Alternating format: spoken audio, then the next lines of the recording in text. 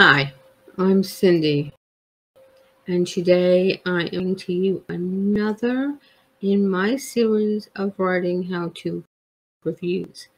This time, I'm going to be talking about Donald Maass's book, Writing a Breakout Novel.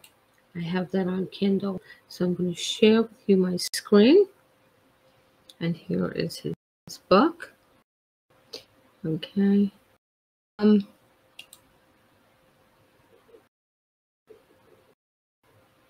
there we go. Donald Maass is both an author and a literary agent whose book, Writing the Breakout Novel, makes a huge promise to get your novel to the bestseller list. He has his own literary agency, which bears his name. For him, the stakes are enormous. He is, after all, betting his livelihood and his name on this information. He is the author of 14 pseudonymous novels and of the book, The Career Novelist, which was published in 1996. He is the president of the Association of Authors Representatives Incorporated, or if you're at all familiar, it's also known as the AAR. Now, in this book, the writing writing the breakout novel, Maass discusses the elements that all breakout novels share, along with the writing techniques that will make your book succeed. This book is a Writer's Digest book and is available in Kindle, paperback, and in hardcover. It holds an 89 spot in authorship reference.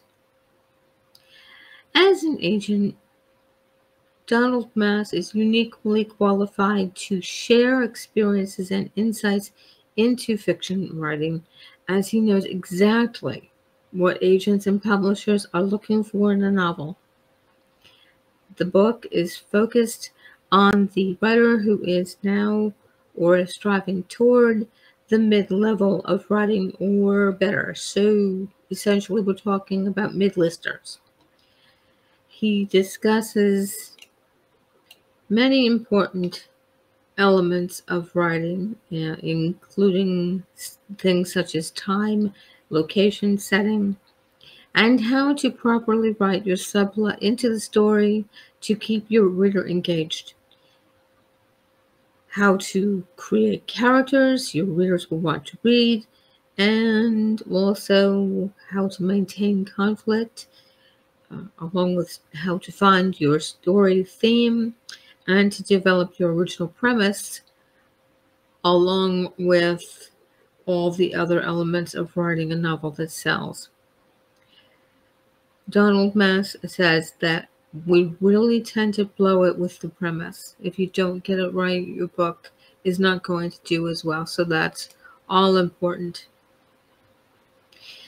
And then when you get into chapter 11, that is the where he outlines in detail the definition of the breakout process and includes important information on the process of publication. The biggest takeaway from me was the simple but elegant truth that a true breakout novel is not the result of marketing. We often think it is the result of crafting a story that grabs the hearts and minds of readers and doesn't let them go until the story's hopefully satisfying ending. It's a must read, in my opinion, and very worthy of the four and a half stars I gave it. Until next time.